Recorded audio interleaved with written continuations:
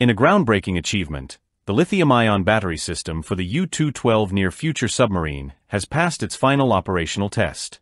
Conducted at the facilities of Power 4 Future Spa, this test marks a pivotal step in modernizing underwater defense capabilities.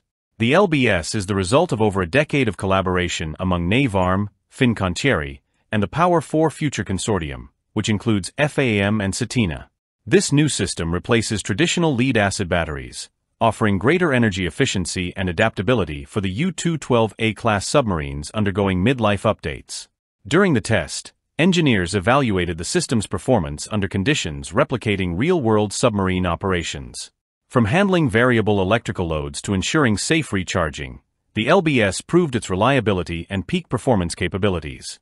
The battery monitoring system also passed stringent tests, ensuring operational safety in the most demanding environments. The U-212 NFS submarine itself is a marvel of design and technology.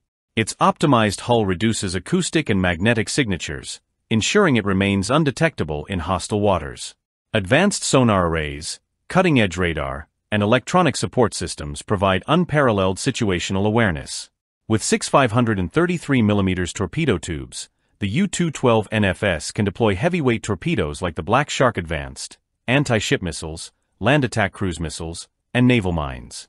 It's also equipped to carry unmanned underwater vehicles, making it a versatile platform for modern naval missions.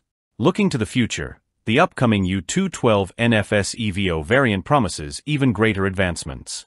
With increased displacement and integration of cutting-edge technologies, it sets the stage for Italy's next-generation submarine program. This achievement represents a silent revolution in submarine technology, ensuring the U-212 NFS remains at the forefront of modern naval warfare. Stay tuned as this groundbreaking platform continues to redefine underwater defense.